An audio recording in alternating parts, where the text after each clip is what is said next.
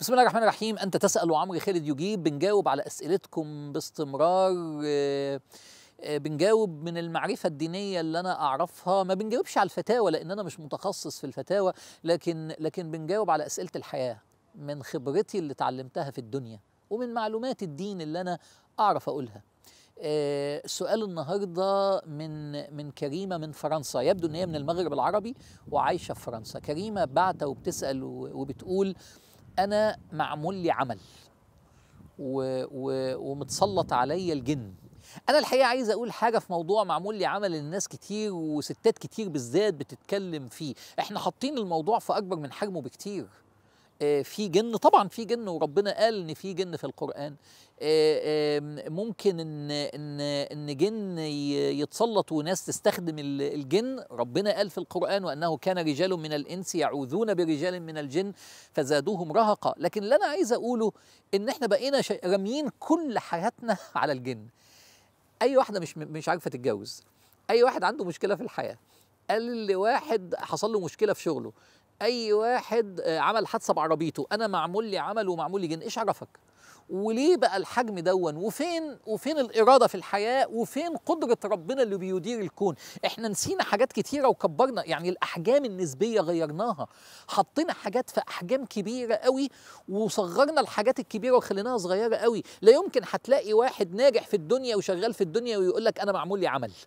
إنما دايما اللي بيقول أنا معمول لي عمل هو اللي عنده مشاكل وما بيتجاوبش في حلولها. حتى لو معمول لك عمل. الحل إيه؟ طب يعني تعالى أفترض معاك إن معمول لك عمل. يا كريمة الحل إيه؟ الحل الاجتهاد والعرق في الدنيا والاستعانة بالله. هو مين ملك الملك؟ يعني أنا عايز أسأل سؤال. هو العمل ده كبير على ربنا؟ هو الجن آه، آه، أقوى من قدرة ربنا؟ إيه اللخبطة دي؟ ولذلك أنا أنا أنا هحكي لكم على حياتي الشخصية. بتجيلي ساعات في فترات في حياتي يجيلي خمس ست مصايب ورا بعض في أسبوع واحد. ما بقولش معمول لي عمل. ما بقولش معمول لي جن. إنما بقول إيه؟ رغم إن أنا مصدق في الحسد وهو في القرآن رغم إن أنا مصدق في كل الحاجات دي إنما بشتغل على اللي في إيديا. ما تشتغلش على اللي مش في إيديك. طب إيه اللي في إيديا؟ الدعاء إلى الله. وإيه اللي في إيديا؟ العرق والجهد في الحياة وتغيير الواقع بالمجهود. احفظوا مني الكلمة دي كلمة حلوة قوي. اكتبوها عندكم. يضيق عليك القدر. ربنا يضيق عليك القدر. يضيق عليك القدر ليدفعك الله دفعا إلى قدر أوسع منه. والله والله الجملة دي ده أنا اللي بقولها دي حكمة يا جماعة.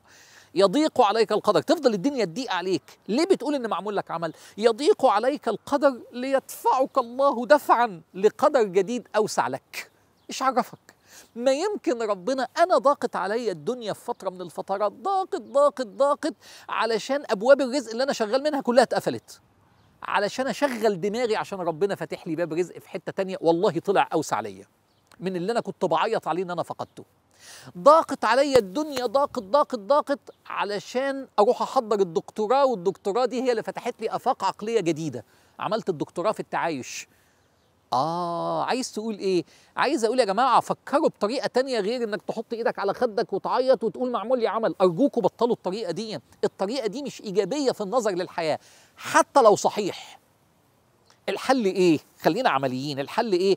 أدور على الشيخ يفك العمل أو أدور على الشيخ يطلع الجن، أوعى تروح في السكة دي. شوف أنا كنت سند ظهري طلعت إزاي؟ أوعوا تروحوا يا بنات ويا ستات في السكة دي، السكة دي مش كويسة. والسكة دي ما بتجيبش نتائج، والكلام ده كلام مش علمي وكلام دينيا بيودي في مشاكل لأن دول مش متخصصين. أمال أعمل إيه؟ أقعد فكر واستشير إزاي أفتح أبواب جديدة للحياة. أنا ما بتجوزش.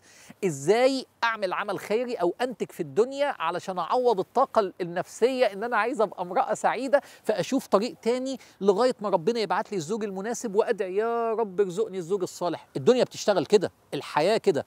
الغرب تفوق عننا ومحدش فيهم قال معمول لي عمل. إنما كل واحد فيهم قال اعرق. فما بالك إحنا بنقول اعرق وكمان بتستعين بالله. خلي عندك ثقة في الله. مالك الملك الذي يغير ما يشاء ولا يقدر عليه شيء ولا فاعل في الكون إلا الله. وهو ده معنى كلمة لا حول ولا قوة إلا بالله.